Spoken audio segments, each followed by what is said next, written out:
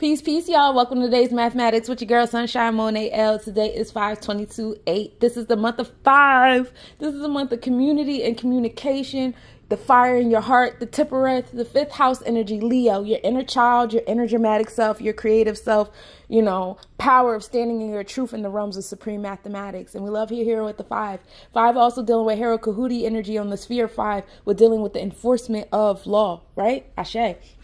So we on the day of 22. This is a day of mastery. This is the master architect. So for the past few days, we've been talking about materializing and manifesting from the thought, right? Mindset, mindset, mindset. Now we're going to learn how to master you know, materializing, master creating the the blueprint into fruition and things like that. That 22 come together make four, of course, same difference. Four and five come together make nine. That's all up in the wholeness, completion, humanitarian pursuits. So, what do you do with standing in the power of your truth and what you materialize? You have to learn how to give back, right? You have to learn how to help humanity. But in order to do that, you have to have conversations with humanity. You have to know what they need. You have to be amongst the collective. It's great to be a good person all by yourself, all locked up in your tower, sitting on YouTube all day in a room all by yourself. It's very, very easy to be a good person in that room. But can you be amongst the collective? Can you be amongst the people on a regular daily basis and deal with all kinds of conversations and expressions and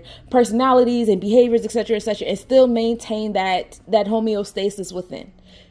Well, exercise that shit because you already know one third got to go to the community. So whatever you manifest, let it be something you feel comfortable giving back to others. Ashe. So now we in this nine of completion. You know I love my nines. We in the year eight. This is the year of transformation, death, and rebirth. This is the year of the dragon. You heard me. This is the year of standing on your throne, standing on your solar plexus chakra, of really enforcing what it is that you want in your space. This is the year of sex and conception. This is the year of occultism and secrets. This is Oya's year. Oya rules over the elders, the marketplace, and the witches. That is who and what she protects. And so whenever Oya is in the space, she's looking to see where are you, where's your alignment with Ma'at?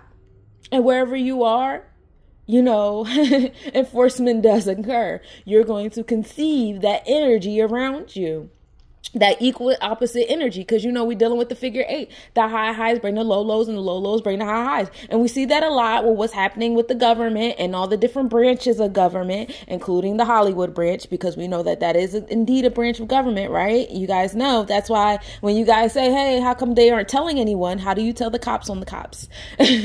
And you can't even tell people that they're actually cops because we need the people to believe that they're actually like hollywood actors and this business is just a random business. And it's not.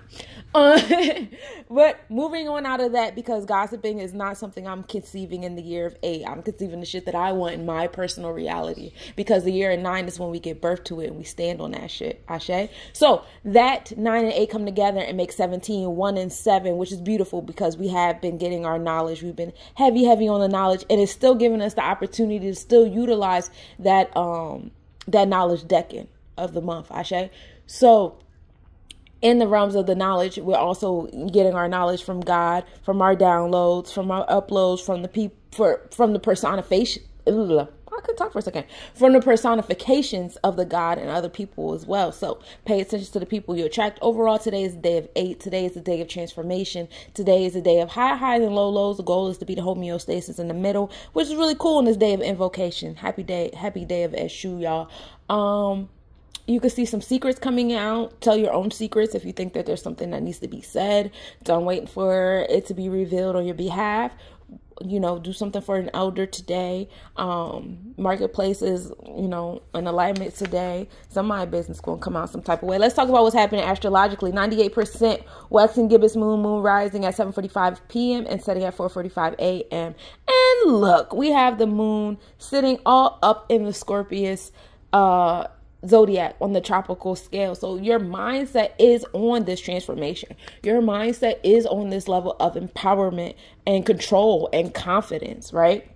we are in the Libra uh, constellation and in Libra on the Vedic scale. So we're talking about the scales and even and balance interpersonal relationships here. Ninth house from the Oracle and the Sage. Sunrise at 5:38 a.m. and setting at 8:14 p.m.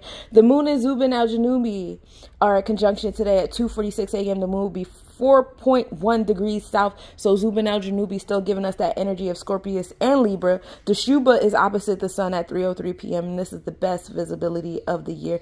Shuba also being a star in the Scorpius constellation. And then Venus and Pleiades are in conjunction today at 5.46 p.m. Venus is 4.8 degrees south.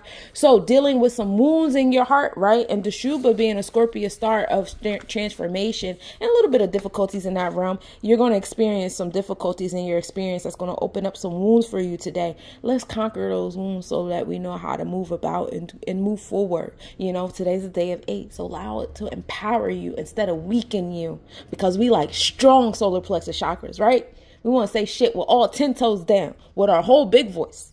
All right. So that's what I got for you today. I love you so much, Cosmic Nobodies. Be mindful that Venus is in Taurus. We are manifesting with our heart chakra. Be mindful that we are having tropical Gemini experience. However, we are still Vedically in Taurus. So your thoughts can be unfocused. Remember, them thoughts is going to bring an unfocused reality. So be mindful of that. Focus is key here during this during the straddle between Taurus and Gemini energy.